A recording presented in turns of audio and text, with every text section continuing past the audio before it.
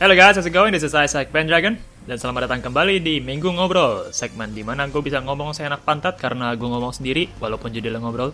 Kali ini kita masuk ke episode 17 dan di belakang ada gameplay Planet 2 buat nemenin kita ngobrol seperti biasa. Hari ini topiknya tentang tradisi yang biasa dilakukan di bulan puasa, yaitu buka bersama atau bukber, atau buka bareng atau bukber apa aja sama aja. Gue akan asumsi kalian pasti pernah dapat undangan buka bersama. Bisa dari teman-teman sekelas, teman-teman seangkatan, alumni, teman-teman kerja, atau teman-teman dari satu komunitas. Misalnya kayak gini, eh buka bareng yuk, ayo mau kapan? Boleh boleh, mau di mana? Atur-atur aja, gue sih oke. Dan obrolan itu diulang-ulang terus sampai akhirnya beneran jadi atau ternyata udah lebaran. But anyway, kita berpikir positif aja. Anggap aja beneran jadi. Dan berhasil ngumpulin paling nggak sekitar 5-10an orang. Percaya deh, dapat segitu aja syukur banget.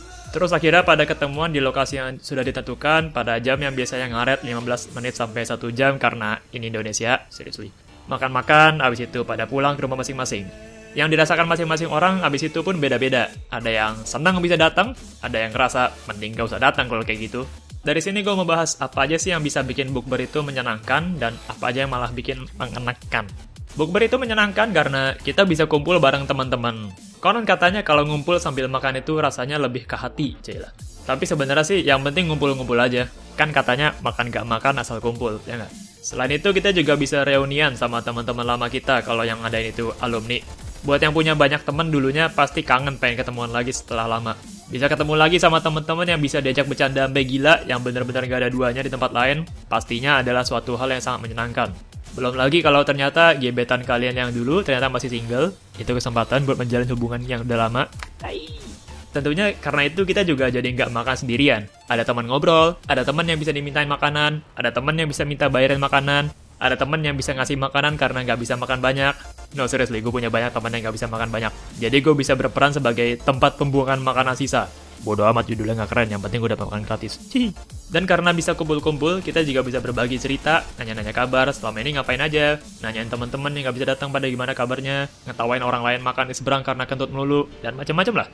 Tapi ya, itu benar-benar best case scenario optimalnya sih. Soalnya bukber juga bisa jadi hal yang mengenakan, yang sayangnya lebih sering terjadi dibanding menjadi hal yang menyenangkan. Yang pertama, bisa kumpul bareng teman-teman itu belum tentu seru. Soalnya belum tentu juga kita dekat sama mereka, dan lebih parah lagi kalau seleranya juga nggak nyambung. Contohnya pas waktu gua bukber sama teman-teman kantor, tuh bener-bener bete sumpah. Udah berangkatnya pada telat, tapi makanan udah dipesan duluan, jadi pas nyampe itu makanannya udah kayak dari kulkas. Di sana juga orang-orang malah pada ngomongin proyekan dan hal-hal engineering lainnya yang gua nggak ngerti apa-apaan dan nggak tertarik sama sekali. Udah gitu nggak ada pula yang mau ngajak ngomong sampai kelar. Mungkin ada yang bilang, ya itu masa lalu, kenapa nggak ikutan nimbrong? Oh iya, jadi orang pendiam bisa tiba-tiba jadi ekstrovert, bisa gaul sama siapa aja. Wow, luar biasa logikanya. Ngomong-ngomong ekstrovert, bukber itu bisa jadi mimpi buruk buat introvert. Walaupun dia sebenarnya enjoy buka bareng di sana. Misalnya dia lagi diem-diem aja, menikmati suasana, main-main HP, sekarang kan ada Kankoli dan Android. Cera. Terus habis itu ada aja yang nanyain, eh lo kok diem-diem aja, sombong banget, ikutan kita ngobrol dong. Atau, lu kenapa diem-diem aja? Sakit. Wah ini lagi ada masalah apa nih sampai diem-diem aja? I mean, really? Itu udah kayak lepas kacamata orang, terus pasang dua jari depan muka dia sambil nanya, ini berapa? Daripada nanya aneh-aneh dengan alasan ice breaking, kenapa nggak ajak ngobrol langsung biasa aja kayak, eh gimana kabar lo? Atau apa kayak? Reunian juga belum tentu menyenangkan. Bisa jadi pernah ngelakuin aib yang sama sekali nggak mengenakan dulu. Misalnya lo berak di celana pasti kelas. Sebenarnya sih nggak apa-apa kalau cuma dibahas sekali-sekali aja, tapi ternyata masih pada inget dan akhirnya dibahas terus-terusan sampai lo malu. By the way ini bukan gue ya, gue cuma ngasih contoh doang lo. Atau ternyata malah ketemu mantan pas belum mampu move on. Eh, kasihan dia lo. Atau lebih parah lagi ketemu sama orang yang ngerebut pacar lo dulu dan sekarang mereka udah nikah pula. Makanya gue gak akan mau reunian angkatan kuliah gue. Biarpun udah gak peduli, it's still going to be awkward as hell.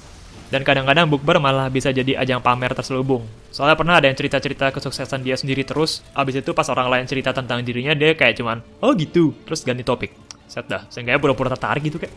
Tapi yang paling bikin gue nggak suka sama bukber itu adalah sangat sangat sangat sering habis makan malah pada nongkrong di tempat makan itu sampai berjam-jam.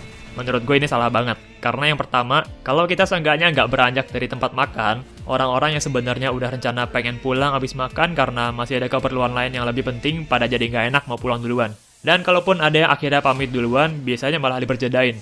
Loh kok duluan sombong amat? Atau tuh kan gitu kan, yang kayak gini nih oportunis habis makan langsung pulang, dan lain lain sebagainya. Nggak serius itu beneran pernah ada yang ngomongin kayak gitu. Walaupun cuma bercanda, tapi itu gak enak banget. Tinggal tanya mau ke mana aja udah cukup kan. Selain itu emangnya itu meja mentang-mentang udah di reserve, bisa dipakai sampai dibawa pulang gitu. Hah?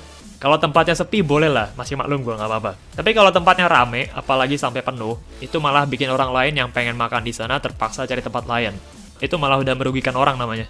Tapi ya, gue harap sesi bukber kalian gak ada yang sampai kayak gitu lah, kalaupun jadi, by the way. Semoga semuanya lancar-lancar aja, tanpa ada yang aneh-aneh. Dan buat yang rencana bukber nggak jadi terus sampai sekarang, mending buruan.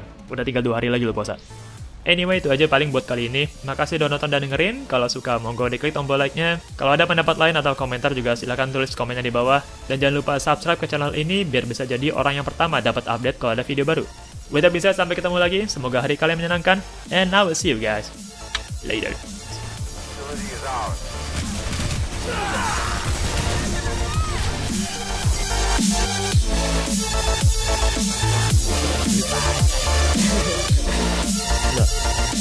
나온다.